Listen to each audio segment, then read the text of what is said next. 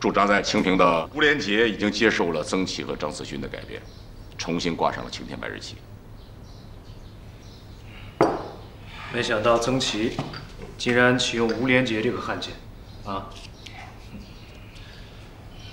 盛弘利派曾琦、张思勋来四区，我觉得他这是醉翁之意不在酒啊。盛弘利这是在项庄舞剑，意在沛公啊！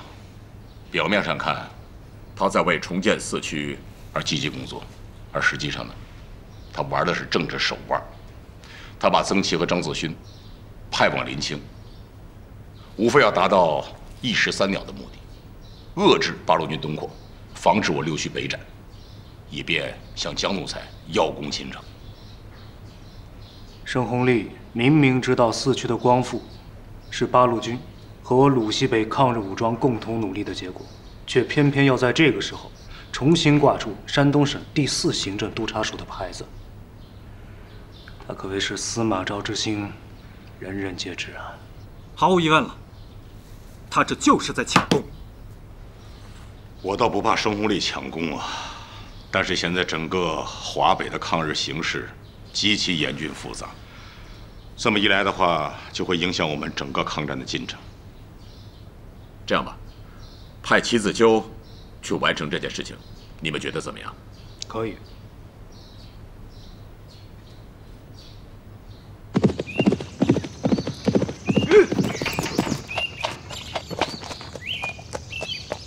报告，五连杰没撤。马玩，副将。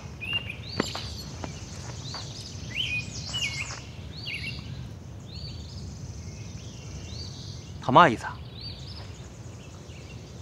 吴连杰，他这是要蒙混过关了。城外的弟兄们，你们是哪一部分的？我们的司令要和你们的长官讲话。我呸！睁大你们的狗眼看清楚了，我们是鲁西北抗日游击司令部三支队。吴连杰，你卖国求荣，给日本人当汉奸，你不配跟我们支队长说话。我奉劝你打开城门，缴械投降。不然的话，我们攻击城里边，让你们这帮狗汉奸死无葬身之地。癞蛤蟆打喷嚏，好大的口气！以为老子手里的一千多条枪是吃素的？日本人都不敢把我咋样，你齐志秋又能把我咋的？政府官喊话，告诉他们，老子挂的是青天白日旗，让他们滚蛋！城外的弟兄们。你们看好了，我们已经更改旗帜。吴团长出任临清奉协军司令，是为了追随汪主席的教诲，曲线救国。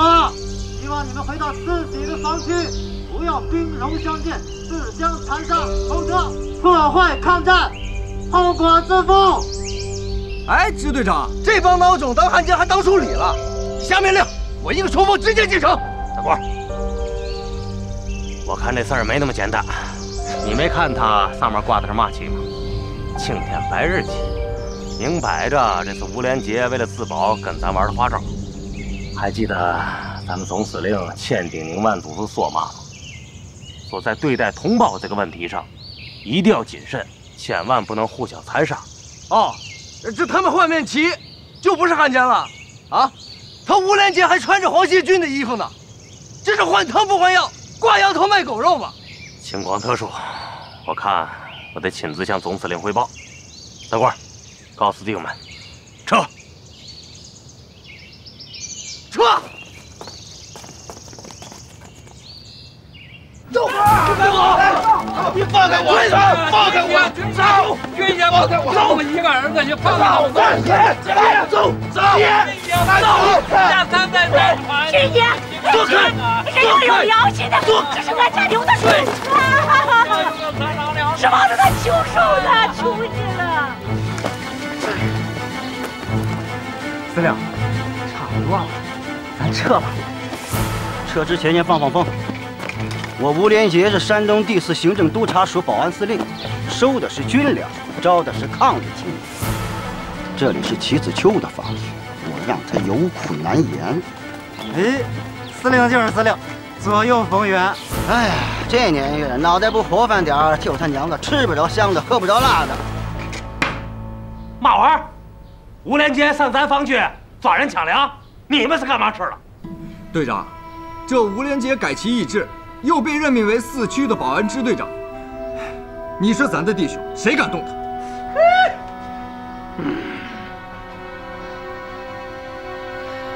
这吴连杰啊，改其意志，表面上不是汉奸，实际上干着汉奸的事儿。不行，想个招儿嘛弄他。报告，进来。司令部的急电，可算来信儿了。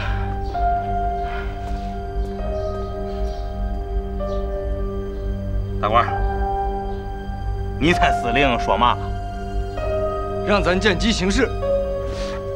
哎呀，我发现你小子是越来越能了。司令原话，让咱看着办。等会儿，马上集合队伍，准备出发。好嘞，看着办就好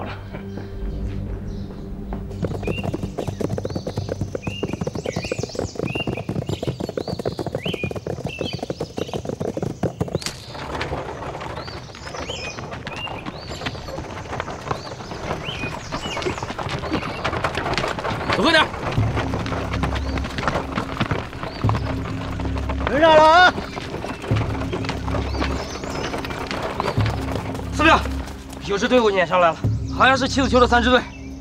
他娘的，来的够快的！司令，那我们怎么办？慌什么？兵来将挡，水来土屯。老子现在是响当当的四区保安司令，与范竹仙平起平坐。齐子秋是范竹仙支队长，能把我怎么样？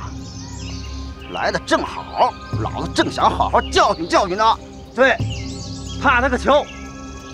把大车横过来，把粮袋子堆在路中间，陪我们的吴司令会会的齐子秋。是是，快点，叫叫！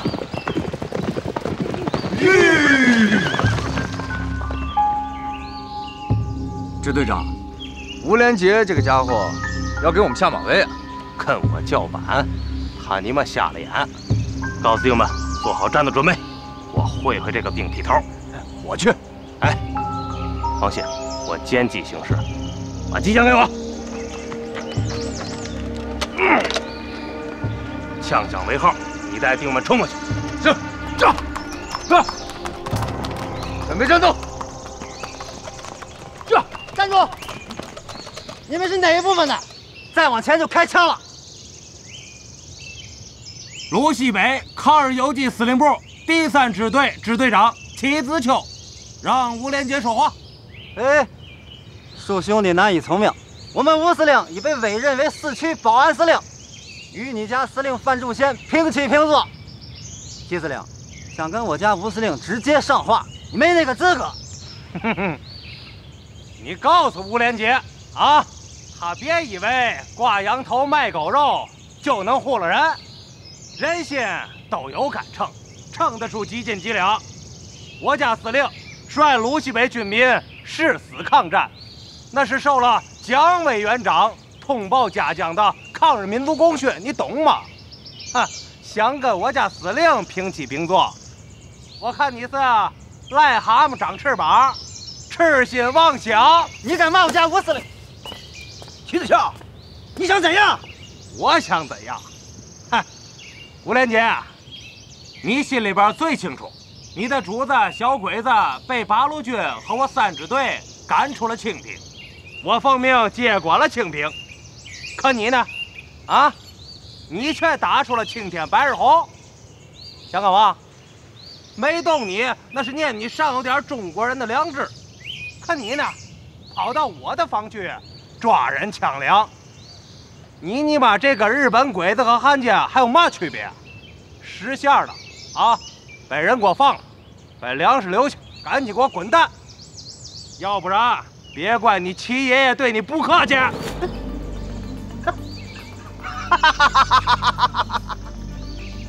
齐子乔，你以为我吴连杰是吓大的？老子敢抓人抢粮，那是有曾专员、张特派员的口谕。曾专员、张特派员要在四区立足，离不开俺吴连杰。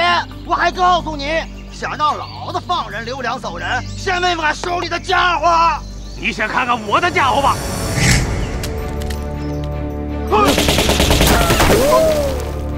出！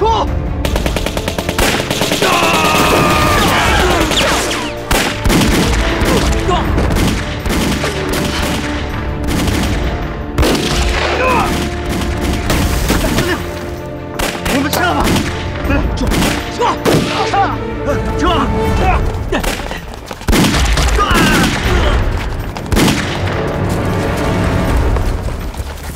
支队长，小波，你清理一下战场，我去趟临清。去临清？没错，曾琦和张思勋在临清。哼，你没听吴连杰说吗？他是奉曾琦和张思勋的口谕来咱防区抓人抢粮的。你是要找曾奇和张思勋理论？你论个屁！这不是兔子头上狮子明摆事儿吗？啊，他沈红利怕咱们司令势力壮大，他友军八路来抢地盘，才把曾奇和张思勋派到临清接管四区。为了站稳脚跟，才启用的大汉奸吴连杰。哼，我看呐，这次我给来个刨树刨根。哼哼。可毕竟曾琦和张思勋是省府委派的专员，这样会不会给司令惹麻烦？要不，要不嘛，惹嘛麻烦？司令把这事儿交给我，证明他对我放心啊，有嘛可担心的啊？哎，你们几个，跟我走，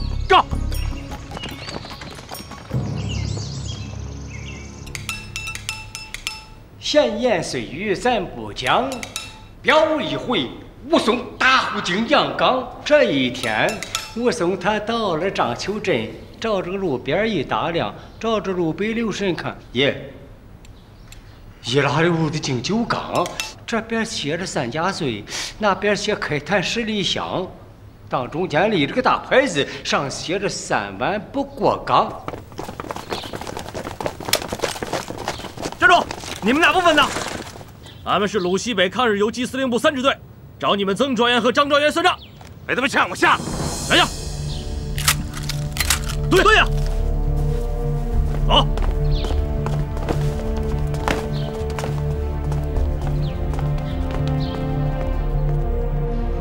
哦，武松一听明白了，这都是酒家使的坏，叫我里边去逛逛。这武松迈步进了屋，照这个屋里一打量，哟，有张桌，当中放两把椅子列两旁，照着四下里看，一拉溜的敬酒缸，一拉溜的个敬酒缸啊！这武松，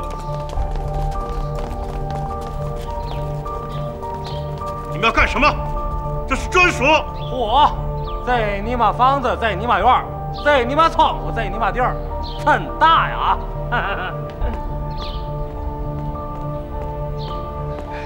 舅舅说：“你吃什么酒，有什么菜？”大爷，这儿没你事儿了啊，赶紧走。哎，嗯，哎，好，谢谢谢谢，谢谢谢谢。这。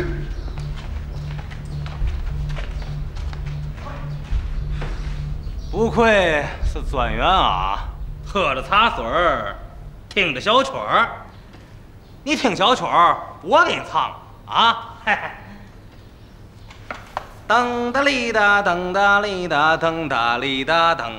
说竹板这么一打呀，是别的咱不说，说一说他吴连杰到的防区开始抢粮了。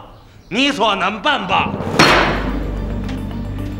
这位兄弟是范司令手下一小卒。齐子秋，哎呦，齐队长啊！哎呀，误会误会，我们兄弟俩初来乍到，哪能让吴连杰到你的剧群抢丁放粮？那一定是吴连杰匪心不改，他自作主张。您肯定是误会了，误会啊！你说是？是啊是啊，齐队长，您的英明如雷贯耳，我们怎么敢让他到您的防区抓丁抢粮呢？齐队长绝对误会了，误会你妈妈！实话跟你们说了啊，吴连杰就让我打跑了啊，没蹭几个字儿，还想让他当保安队长，当个屁！这齐队长，我们启用吴连杰也是不得已而为之啊。我们四区刚刚光复，手下也没有一兵一卒，请齐队长见谅啊，请齐队长见谅。你们是没一兵一卒啊，可你们想跟范司令和共产党对抗，所以你们启用的吴连杰，对吗？行了，废话不多说，摆在你面前就两条道，一条生道，一条死道。你你你这是说说啥？死道，我让我手底下人以纵用汉奸罪、抢掠百姓罪，被你们拉出去毙了。这这这可不能这样的，齐队长。咱还有条活道，把你们怎么启用吴连杰，怎么命令吴连杰到我的防区抓人抢粮啊？这个哦对，还有你们到四区来干嘛了啊？通通给我写上，签字儿、画押。这这这这这不合适。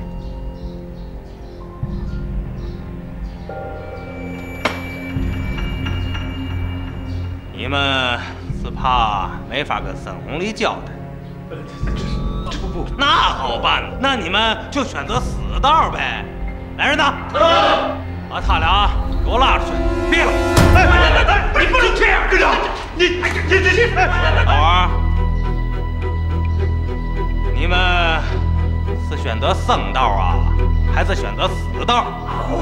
活道，活道，让他们写。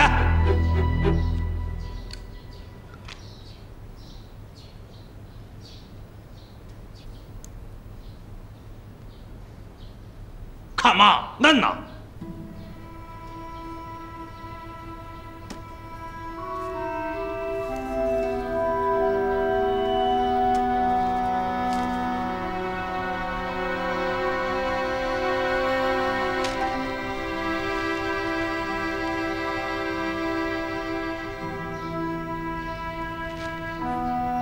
我给你俩一刻钟的时间，赶紧在我眼前消失，要不然我让我手底下人给你们拿着喽。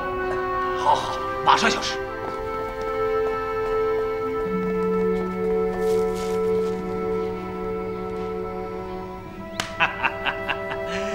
有了他，沈红丽那是有口难辩了。一连长，走，马上去趟辽城，把他亲自交到张主任手里。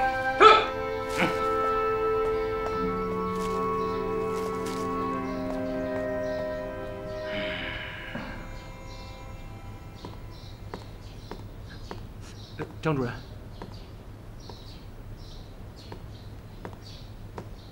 严主编，哟，张主任啊，什么风把您吹来？快快快坐啊啊！严主编，我今天来可是给你带来一个好消息啊！哦，什么好消息？齐子秋把曾琦、张慈勋赶出了四区，是吗？这太好了！这是你的当家弟子刚刚给我送来的。信里面不仅写明了驱逐曾琦、张思勋的原因，还有两个人签字画押的认罪书。好啊，太好了！齐子秋把事情做的是有理有节。哦，老张，我看咱们应该考虑到目前抗日斗争的复杂性和敏感性。齐子秋只是给沈红丽扇了一耳光，这还不够，应该给他上上妆，刊登在《抗战日报》上。以强有力的事实来揭露这些顽固分子的丑陋行迹。好呀，这说到写文章，那可是非你莫属啊！啊，那就有劳你了。哎呀，张主任，您这恭维我是假，鞭打快驴是真吧？哎，绝对不是。这总司令喜欢你写的文章，说你是鲁西北的一支笔。怎么着？你这头快驴想打个滚儿缓口气儿？那好啊，那我另请高明啊！哎，别！哎呀，我见还不行吗？我就是一文痴，我写，我写行了吧？这就对了，你这头快驴啊，就老老实实的写吧。日军两次出城受挫，再也不敢贸然出城。我断定徐州会战已经尘埃落定，那么敌人将会在兵力部署上做出调整。您的意思是说，蒲县方面的守敌现在变得势单力薄，我们完全有能力能够拿下蒲县。对，只要拿下蒲县，鲁西北抗日根据地就可以与济南和豫北抗日根据地连成一片。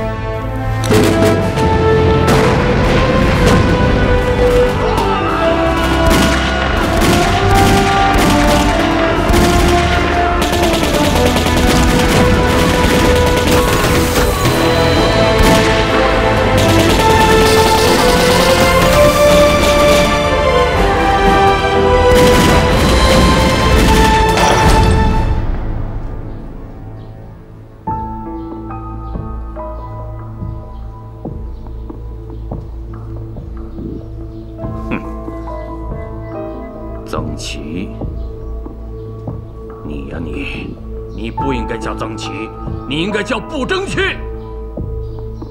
还有你，你不应该叫张思勋，你应该叫张次品。你看看你们啊，你们回来了，范仲淹的抗战日报也到了，我的脸都让你们丢尽了。重用汉奸吴连杰，纵容他到七子丘的防区。抓壮丁抢粮，表面上看是借我用人之短，实际上是影射我争功抢地盘。主席息怒。还有你，都是你给我出的馊主意，说我对范仲先坐视不管，让我派这两个笨蛋去了四区，说什么可以遏制范仲先北展，遏制八路东扩。现在好了。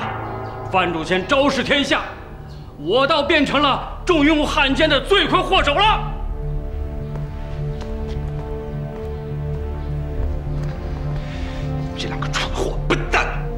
辜负了主席对你们的一片期望，你们还不快滚！滚啊！滚！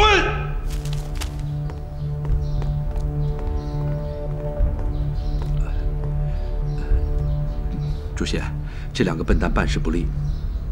都是卑职之过，为弥补过失。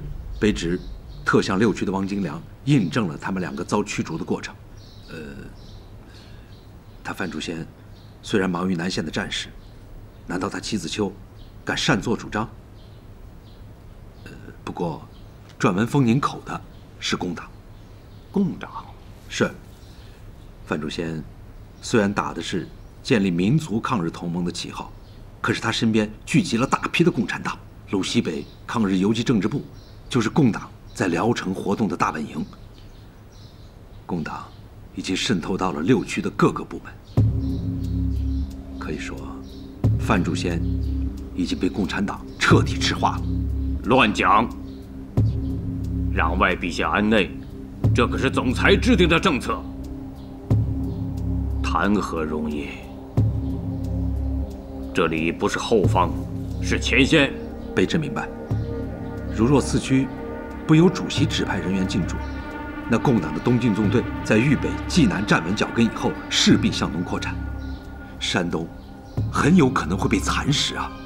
像百里先生说得好，不怕日军鲸吞，就怕日军蚕食。党国也怕共党蚕食啊！哦。重庆方面有什么消息？有，你看我让这两个笨蛋给气晕了。呃，国防军事委员会电视正在拟定空投计划，责令我部拟定接收方案，确保万无一失。好，我要亲自拟定接收方案，确保万无一失。哦，你通知韩瑞峰，让他立即来见我，我要重新任命四局的专员。和保安司令，主席，您是想任任命韩瑞峰？不错。呃，主席，据我所知，韩瑞峰和范仲淹有同僚就医的渊源。如果韩瑞峰去了四区，很可能会使范主先如虎添翼啊！主席，卑职力荐王金良，他对主席忠心耿耿啊。吕秘书长，我不是聋子。也不是瞎子。我知道，范主先和韩瑞峰曾供职于冯总的西北军。你和汪金良都是保定陆军学校的旧日同窗。但是这个时候，我委任冯总十三太保韩瑞峰去四区，而不是王金良，我自有我的打算。请主席明示。很简单，王金良在范仲先那里得不到重用，他对范仲先和共党肯定是耿耿于怀，希望离开六区到四区高就。可你想过没有？他离开了六区，谁向我们汇报六区的情况？再者说了，四区现在是名存实亡。即使我任命他为四区的专员和保安司令，他没有一兵一卒，能在那里站住脚吗？所以说，要想重新掌控好四区，还非得利用范竹仙和韩瑞峰的旧日旧情不可。您的意思是，等他们两个搭起了戏台，但是这戏由谁来唱？您是主席，您说了算。我是这么说的吗？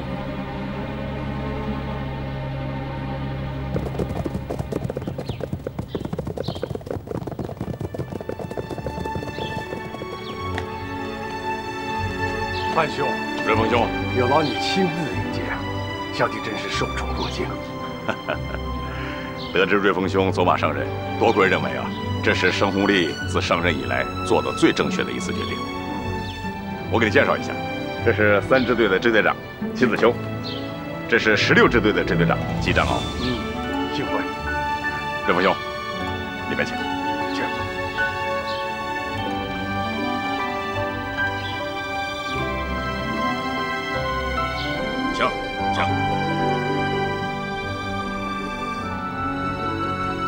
哟，看来范兄是决心让我在四区站稳脚跟了。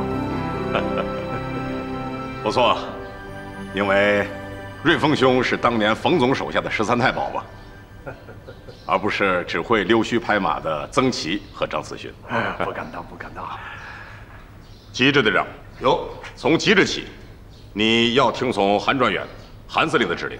是。齐支队长，你也要做好协防四区的工作，随时随地听从韩专员的调遣。是。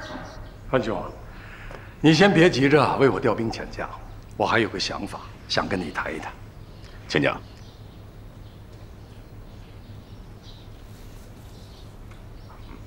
是。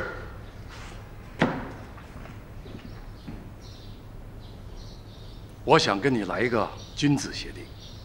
此话怎讲？你看，你在中原腹地建立敌后抗日根据地的设想，已经初具规模，这是你和八路军幺二九师的功劳。可是申鸿立却把曾琦和张子勋派到了四区，其目的，你知我知，八路军也知。可惜啊，他申鸿立用人不当，曾琦和张次勋用人就更不当，丢人现丑，才想到把我派到了四区。这个用意，你心里边明白，我更清楚。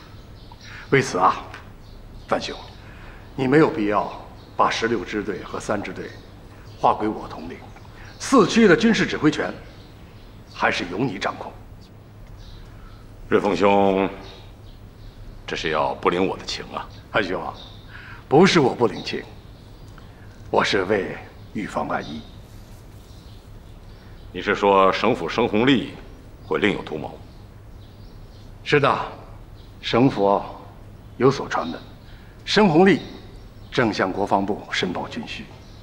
只要军需一到位，你苦苦经营的军队交给我，申鸿立一张指纹把我撤离四区，四区的军事武装不就到了他手里了？瑞丰兄。瑞丰兄，你真是跟我想到一块儿去了，这也叫做英雄所见略同啊。此话瑞丰兄能够讲出来，真是君子坦荡荡啊！切，范兄啊，你我都是为了抗战大业，我必须支持你。能交瑞丰兄这么一个肝胆相照的朋友，真是多亏人生之大幸啊！现在申红利正忙于向国防部申报军需，而且已经有了眉目。我想他是借着你的战果向国防部申报军需的。最高统帅部决定在华北建立敌后根据地，组织日军向华中推进的速度。他肯定要支援山东，拿什么支援呢？就是这批军用物资。可是眼下，铁路已经让日军给截断了，支援山东的这批军用物资只有空投。啊，安兄，你来看看，申红利接收军用物资最佳的空投位置应该是在哪儿呢？当然是我六区了。我六区方圆百十公里没有一个日军据点，况且还有我六万多的抗日志士。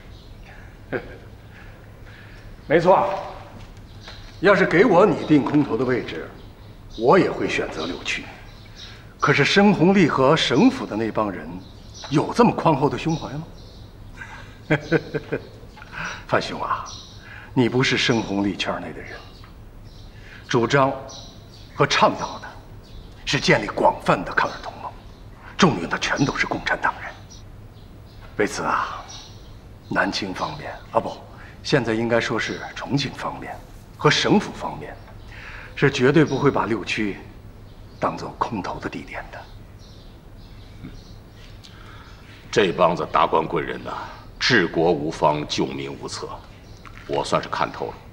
当今之中国，能够救老百姓于水火，能够不让中国沦为亡国奴的，只有共产党人。范兄啊，你说此话可得谨慎呐。你就不怕有人在背后告你的恶状？你这身边可是有中统和军统的鹰犬。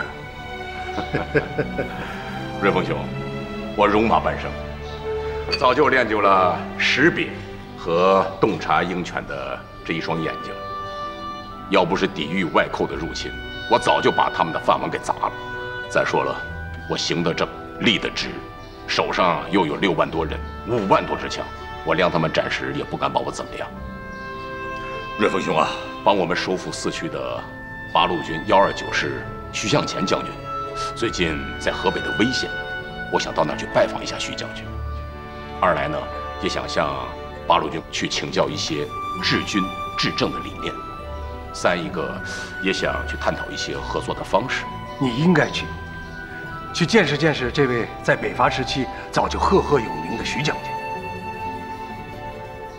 啊，对了，你说申红利想利用你我之间的友谊，让你重建四区。哎呀，甭管他是真是假吧，只要他为了抗日的大业，我宁愿把十六支队和三支队全部交给你。哦，我是担心申红利偷梁换柱啊，到时候你我鸡飞蛋打。为此啊，小弟还是坚持认为，为防万一，十六支队和三支队，你还是编入。鲁西北抗日游击司令部这个序列，我只要一个临时的指挥权。好吧，你去四区上任，我去河北魏县拜会徐将军，我们携手共建鲁西北抗日根据地，好吧？主席，主席，国防军事委员会批准了您的请求，择日即可向指定地点空投军需。好，好。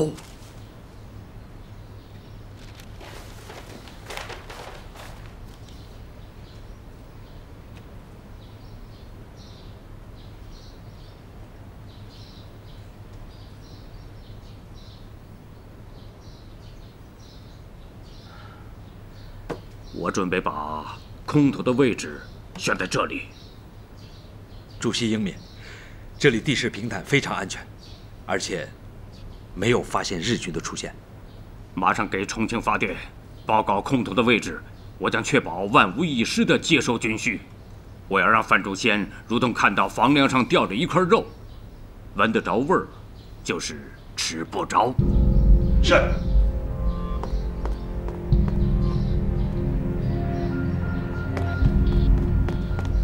将軍閣下先ほど探知した中国人の鉄砲です。分析の結果進行里は魚山一帯で10日物資を受け取る予定です。广南に打電しここに兵を伏せ敵の物資を奪いそう伝えろ。は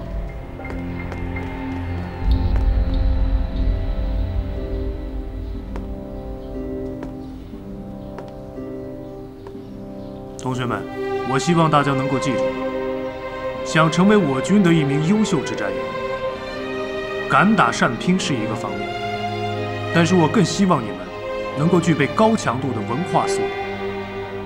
只有具备了文化素养，我们才能保持一颗冷静的心，在战场上去面对我们最凶残的敌人。战斗的最高境界是什么？我希望你们能够记住，叫做不战而屈人之兵。我们的教育方针是艰苦朴素的工作作风，还有灵活机动的战略战术。希望同学们能够谨记。下面，我请罗安。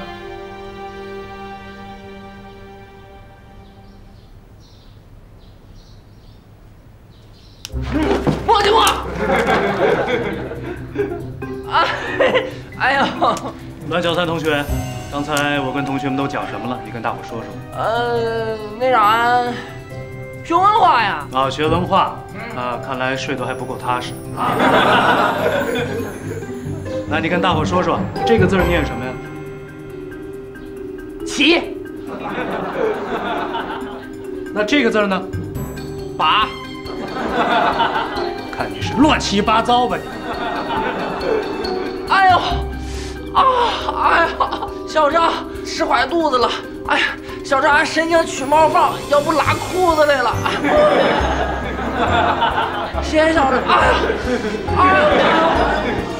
好了，同学们不要笑，记住了，在课堂上，纪律和战场上一样严密，一样重要。这样的情况下不为例，同学们记住了吗？明白我们的校训是什么？团结、紧张、很好。哎呦，哎呦，哎呦！哼！哎呀，这上学堂还不如蹲禁闭的，连觉都不让睡。来自随军记者七里堂的报道，七里河之战的启示。嗯。哎，念么呢？念么呢？土匪武装经过改造，可以成为抗日的有生力量。来，你给俺念念怎么写的？架子鸡乱小三儿，俺可是第一个冲进七里堂救司令的。念念。上面没有写你救司令的事儿啊？没有啊？没有。这这这儿呢？没有啊。没有。这边呢？没有。没有。这这边怎么写的？这边没有。没有。都没有。挠挠，这报纸谁写的？报社的随军记者呀。水屯支社，小马，他这不是胡说八道吗？敢灭了俺的功！水屯支社，闹闹，这报纸别看了。哎呀，水豚之社是吧？弄死你！水豚之社，你敢出来？谁是水豚之社呀？谁找谁呀？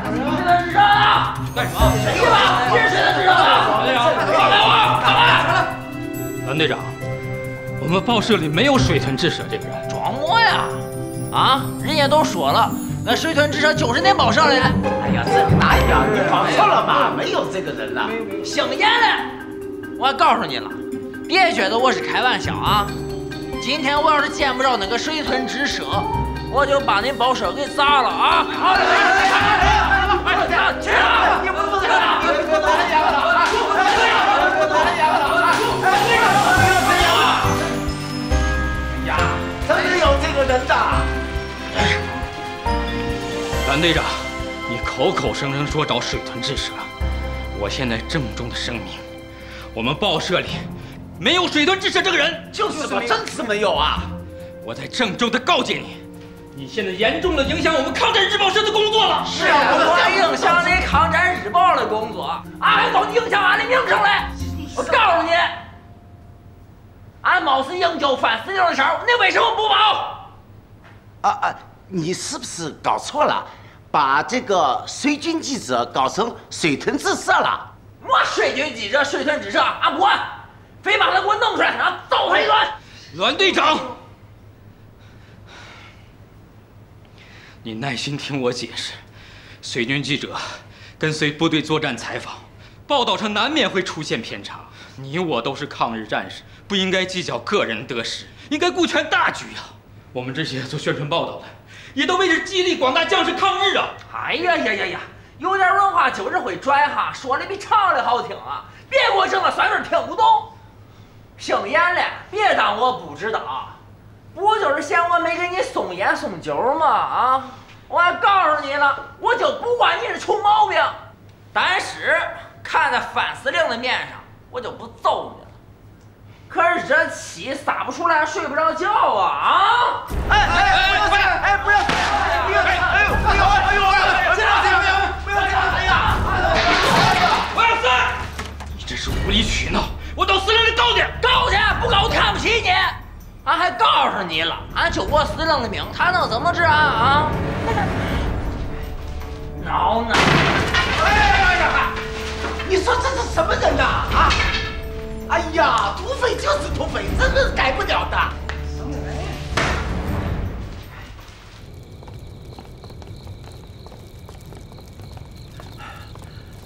主席，都已经准备好了。